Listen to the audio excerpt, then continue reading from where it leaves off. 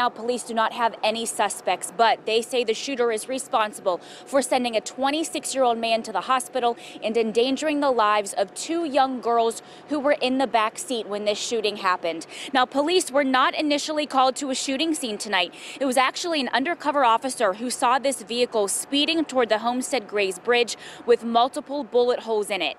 That officer followed the car to the waterfront, and that's where they found the male driver had shrapnel in his back. He was taken to UPMC Mercy, where he has since been released. Now, police say the shots were fired in Hazelwood near Imogene Road. There's not much information on the shooter, but police were hoping that more interviews with the witnesses could lead to something.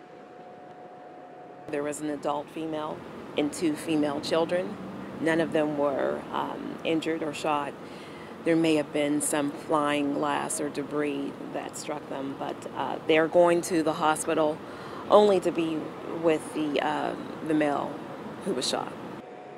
At that crime scene, police weren't sure of the relationship between the two children and the male driver who was shot. They do say that they have only one clue tonight as to who this shooter could be, and that is a person who was driving a white vehicle. That's all the description that they have. Reporting live tonight, I'm Kelly Brennan, Pittsburgh's Action News 4.